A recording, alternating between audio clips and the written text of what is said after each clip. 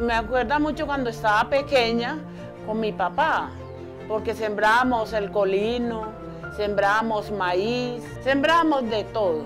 A pesar de que estoy acá en la ciudad, me siento como en el campo, ¿verdad? Este año cogí cebolla, cogí maíz, también tomate. Siempre hemos pensado que esta montaña siente y vibra porque la comunidad de esa forma sí la vive. Ella fue la que los acogió en su momento, en esos momentos de crisis. Primero era la huerta en tierra, la tradicional. Luego también nos pasamos a vivero.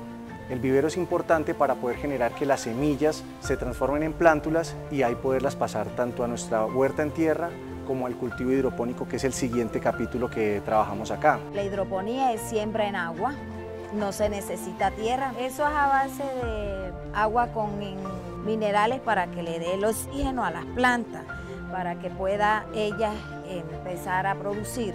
Una intervención de protección con enfoque comunitario, innovador, e intergeneracional como esta tiene un impacto muy amplio en toda la población gracias a la puerta de ingreso que puede ser la agricultura. Podemos efectivamente dar respuestas de protección más amplias dentro de una comunidad particularmente afectada como esta al mismo tiempo, este es un proyecto de inclusión porque permite proporcionar alimentación directa para la familia, también de generar posibles medios de vida a través de la venta de estos productos. Este proyecto me va a servir para yo retomar más la siembra que sabía. Detrás mío están viendo una huerta.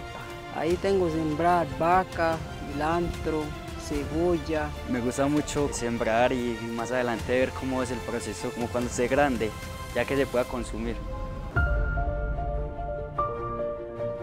Yo me siento contenta porque aprendí mucho, no solamente para mí, sino para enseñarle también a los vecinos,